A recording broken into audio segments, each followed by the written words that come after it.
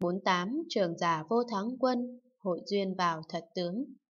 Thiện tài đồng tử, từ từ đi về hướng thành đó, đến chỗ vị trường giả, đảnh lễ đi nhiễu quanh, chắp tay cung kính, đứng về một bên, bạch rằng, Đức Thánh con trước đã phát tâm an hậu Đa La Tam Miệu Tam Bồ Đề, mà chưa biết làm thế nào học Bồ Tát hạnh, làm thế nào tu Bồ Tát đạo.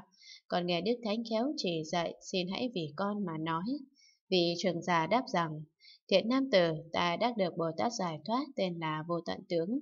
Ta nhờ chứng được Bồ Tát giải thoát này mà thấy được vô lượng chư Phật đã được vô tận tạng. Thiện nam tử, ta chỉ biết giải thoát vô tận tướng này như các Bồ Tát được trí vô hạn, biện tài vô ngại, mà ta làm sao biết được, nói được công đức hạnh đó.